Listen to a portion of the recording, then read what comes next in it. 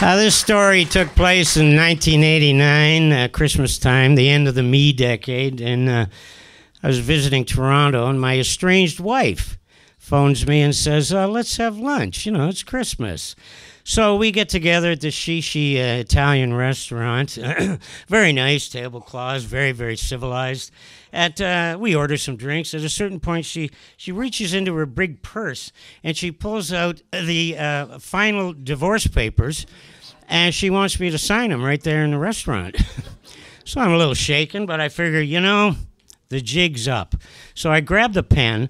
I'm just about to, to sign the papers, and the guy at the table next to us, a big guy, he, he does this. He goes, Ugh! And uh, collapses in his chair, right? So I think, okay, well, I, I'll put the pen down. how, how fortuitous. well, so postponing the inevitable. So anyway, I, I go over, and sure enough, I mean the guy is turning blue. He's like a big blue popsicle, and uh, uh, uh his his dining companion, his buddy, uh, he's like uh, totally frozen. He's completely catatonic. As a matter of fact, the entire restaurant has gone totally Canadian. You know, not happening, not happening. so anyway.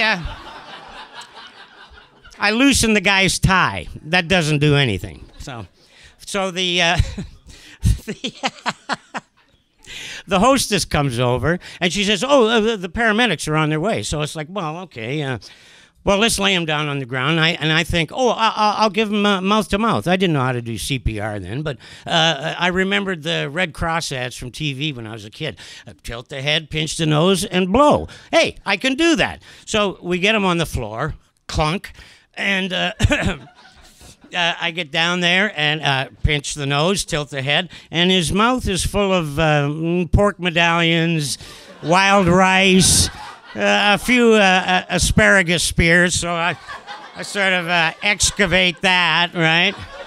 And look, he's not an attractive man, but hey, who am I? You know. So I start blowing, and he's going up and down, sure enough, and and you know he's not so blue. so all of a sudden, uh, from from in the corner of the room, this woman goes, uh, "You're doing that all wrong." oh, Oh, thank you very much for your kind words of encouragement.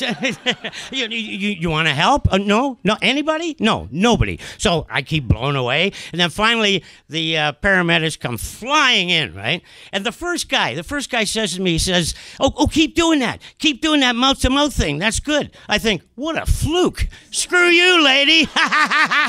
so I'm blown away, and then finally they push me out of the way they just they jump the guy basically. They're pounding on him they're beating him they rip his clothes off they're sticking him with big spikes. It's like a gang mugging at a surrey skytrain station. It's just, it's totally ghastly. So uh,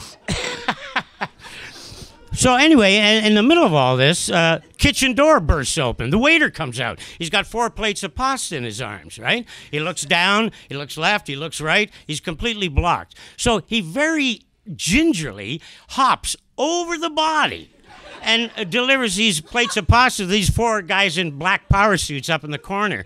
And they're going, hey, what's with the body? Uh, we're having a meeting, right? now. I, am looking at the waiter. I'm thinking, this guy is good. It's like, wow. So anyway, at this point, they're getting ready to take the guy out, and he's not blue anymore. He looks kind of like uh, dry asphalt. Anyway. You know, I say to the paramedic, you know, I tried to help the guy, and nobody, everybody just sat there. I, is, is you think he's going to make it? And in a very cheerful voice, he goes, "I don't know. Happy holidays!" And zoom, off they go. I never see the guy again. I don't know if the guy lived or died. So I'm just, you know, pretty shaken at this point. I go back to the table. I sit down. I look up. There's my soon to be ex wife, and she's like this. She got the papers and the pen, right? And I'm thinking, boy, that's cold. Anyway, I figure, okay, let's go. So I, I uh, once again, I'm just about to sign the paper. Kitchen door bursts open again. This time the owner comes out, right?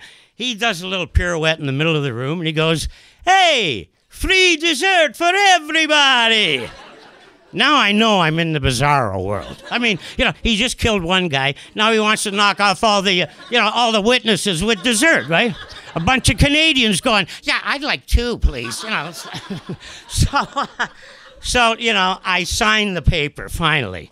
I burst into tears. I get a hold of myself. I'm sitting there. I'm thinking of nothing.